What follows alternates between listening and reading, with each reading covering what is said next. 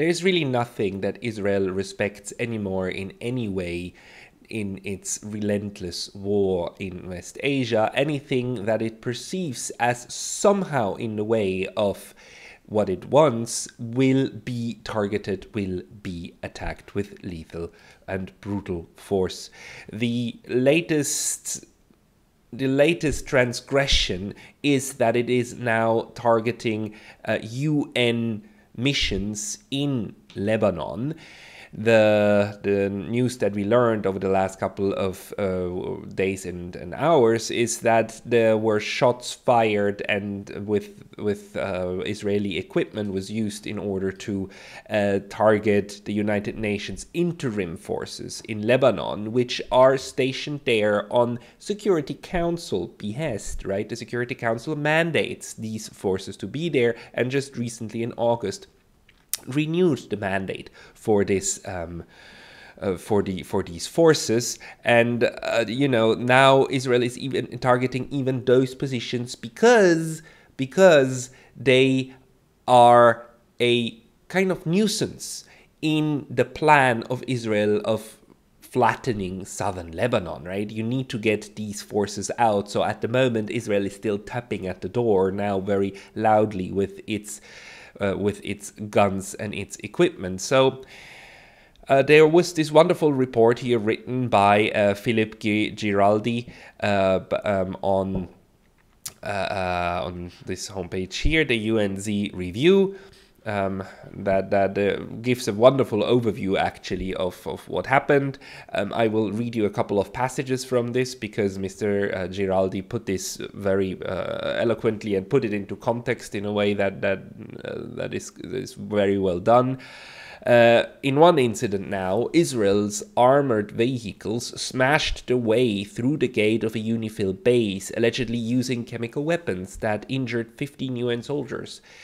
Now, this is outraging for the first time, really, like uh, European capitals, although that's not entirely true. Some, some European capitals have been highly critical of, of Israel even before, but and especially the um, Spanish Prime Minister Pedro Pedro Sanchez has spoken out against the uh, horrific deeds of Israel in Gaza and, and, and Lebanon. But now this is going further.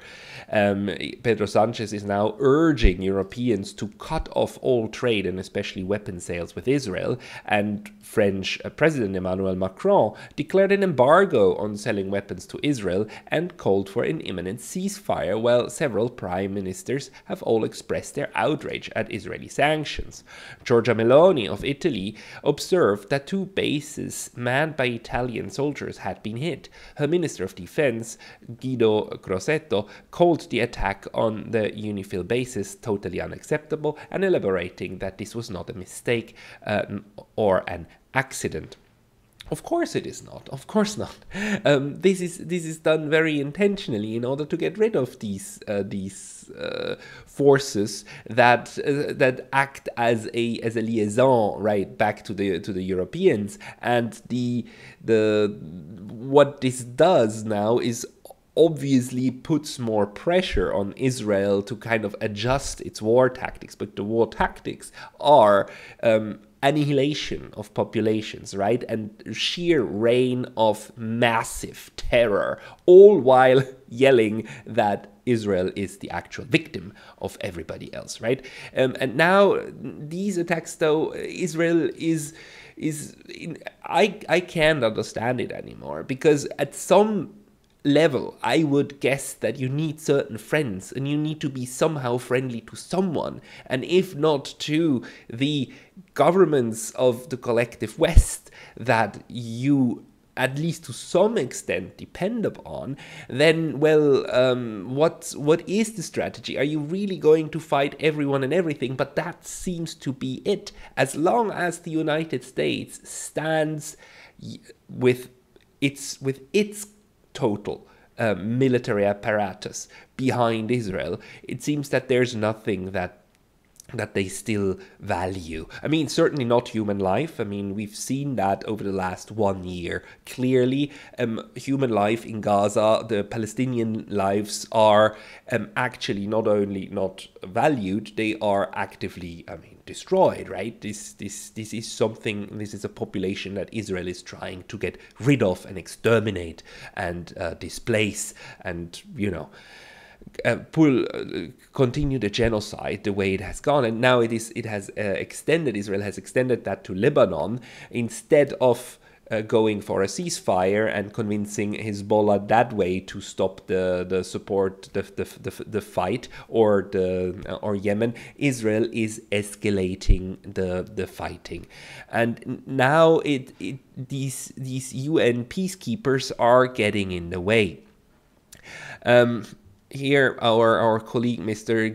Giraldi um, actually continues. He's saying that as usual, Israel portrayed itself as the innocent victim surrounded by evil neighbors. Israeli Prime Minister Benjamin Netanyahu has called on the UN chief to remove the UN peacekeepers who are now deployed in southern Lebanon. He claimed, without providing any evidence, that UNIFIL was serving as a human shield to Hezbollah terrorists. This endangers both those in UNIFIL and the lives of our soldiers. Mr. Secretary General, get the UNIFIL forces out of harm's way. It should be done right now, immediately. Uh, this is like Netanyahu at this one at this place wants a free hand to to wreak even more havoc on Lebanon, right? And terrorize, terrorize the Lebanese into submission, the way they are terrorizing the Palestinians into utter submission. Um, although with the Palestinians, it's it's yet an, another story because there now we understand that in Gaza the end game is obviously the uh, complete, uh, well, the complete emptying out of the Gaza Strip, be it by killing everyone who lived there, or be it by uh, by chasing them out of the country of the, of these places eventually. Um, and in Lebanon, it seems to be again this this terrorism state terrorism against Lebanese civilians because uh, what is happening at the same time is that that they still uh, attack the infrastructure of the state, the civil infrastructure. Um, deliberately. Again it is hospitals it is mosques it is it is uh, ambulances that that try to rescue people.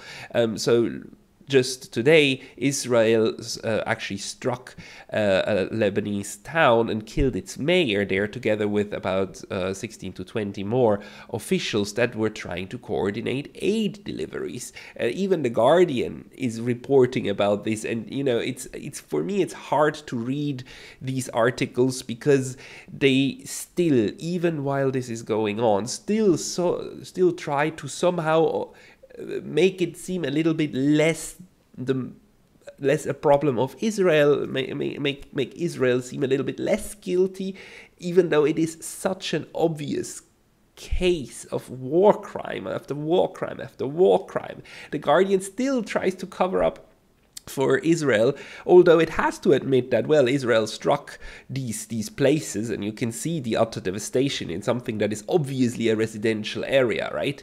Obviously, like all the pictures speak that very clear language, and still the Guardian manages to to write things like the following. I find this uh, quite quite telling that quoting Hezbollah has stepped up the frequency of its attacks in Israel in recent days, despite the loss of most of its senior military and political leadership.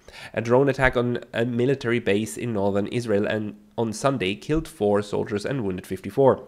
Its deputy secretary Naim Qassem said on Tuesday that the group had uh, adjusted its tactics to cause renewed damage to Israel. So you see how these last paragraphs are building up the horrible damage that Hezbollah is doing, you know, the utter carnage that it is causing, right? Right? Like and then it builds up to more than 2,350 people have been killed and 10,906 wounded in Lebanon since Hezbollah fired rockets at Israel on October 8, 2023, in solidarity with Hamas attacks a day earlier. Do you see how these 2,350 people are basically put into into a into the context. I mean, all of these all of these casualties here, uh, killed and wounded, are basically being cited as an outcome of Hezbollah's action. So these were not. The Guardian manages to spin this in a way that, although it doesn't say so, it really sounds as if these 2,350 people died due to the actions of Hezbollah, not due to Israel's indiscriminate strikes against uh, against even civilians and civilian infrastructure. And this this still it's still it's still um, I I don't know. I, it makes me it makes me wonder what goes through the mind of the people who formulate these sentences.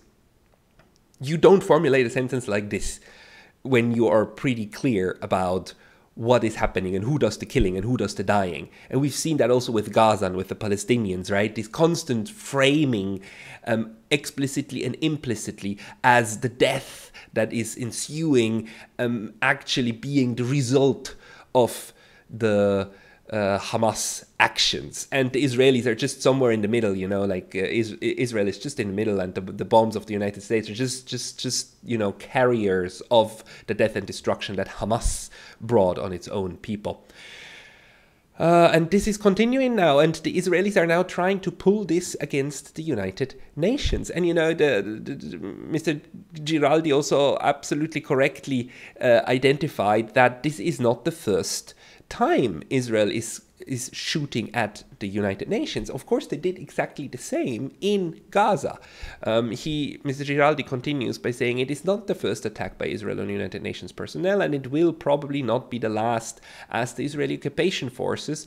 Um, as the, as the Israeli occupation force has been de facto waging war against the United Nations Relief and Works Agency for Palestine, Palestine refugees in the Near East, UNRWA, in Gaza over the past year, targeting and killing its personnel and denying or blocking its largely humanitarian mission.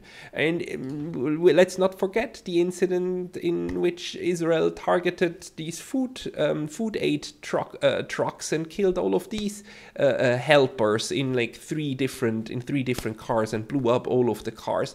The Israel is now continuously also it's it's firing at everybody. I wonder how long it takes the Europeans and the West in general to wake up to the fact that everybody's on the chopping block. Everybody who opposes Israel is on the chopping block, and Israel is getting is getting more and more crazy and just utterly unhinged in its in its assaults on, instead of trying to de-escalate and stop bombings in order to to get to a ceasefire and to hostage exchanges you, they do more and more and more bombings and it is it plays into Netanyahu's hand hands who wants even a greater war. Israel is now using a strategy of burning its entire neighborhood in the hope of a decisive victory, especially against Iran and against like destroying and killing all of its enemies,